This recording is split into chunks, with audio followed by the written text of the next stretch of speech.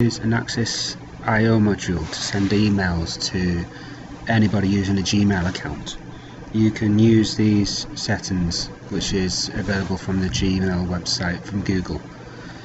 Type in this address here with your port number 25 and this is who you want to know the name as you're receiving it from so myhouse at gmail.com or mycameras at gmail.com whatever you want it to be. This doesn't actually have to be an address it just needs to be something that you'd recognize it for.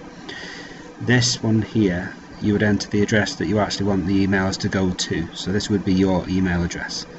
And if you send a test email you can see there that your primary server is okay and the email test email has actually been sent. Now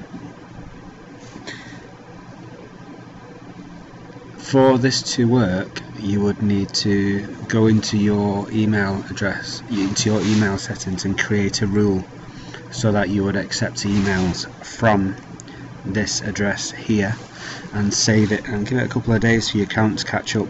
And once you've give it that time if you do this send if it doesn't work straight away give it a couple of days for it to go through the system and the emails will start to appear in your email account to do it this way your email account that you're going to receive it has to be a Gmail account. So you can send it from anything at whatever.com but it has to go to a gmail.com email address.